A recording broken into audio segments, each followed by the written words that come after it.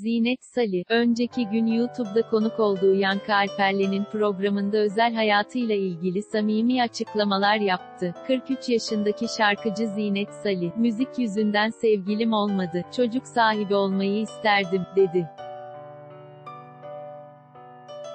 1 bölü 9 kısa süre önce yeni albümüyle müzik listelerindeki yerini alan Zinet Salih, YouTube üzerinden yayınlanan Metabolik TV adlı programın konuğu oldu. 2 bölü 9 katıldığı programda ilişki hayatı,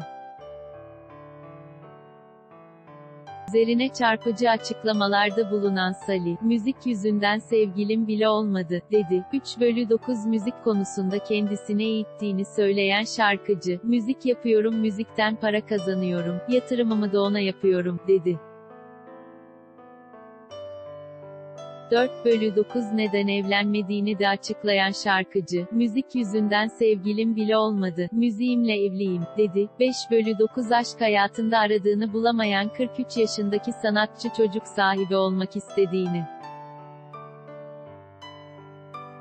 söyledi. 6 bölü 9 çocuk sahibi olmayı istedim. Ama mutlu evlilik olmazsa çocuk olmaz. Evlilik kurtulsun diye çocuk yapanlara kızıyorum, dedi. 7 bölü 9 Zinet Salih'den ilginç ilişki açıklaması 8. 9 Zinet Salih'den ilginç ilişki açıklaması 9 bölü 9 Zinet Salih'den ilginç ilişki açıklaması yorumları görevlisi 0